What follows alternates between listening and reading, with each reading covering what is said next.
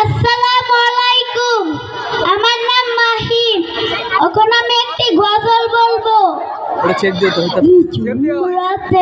দূর আকাশে দিকে তাকিয়ে ছোট্ট ছেলে মাকে বলে স্রষ্টা আমাইকে ঝুমরাতে দূর আকাশে দিকে তাকিয়ে ছোট্ট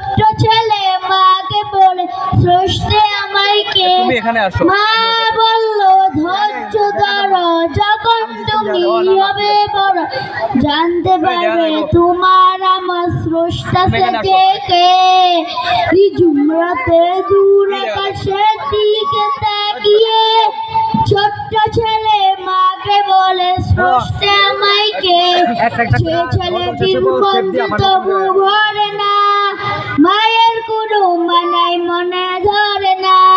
সে ছেলেটির মঞ্জু তবু ভরে না। মায়ের কোনো মানাই মনে ধরে না।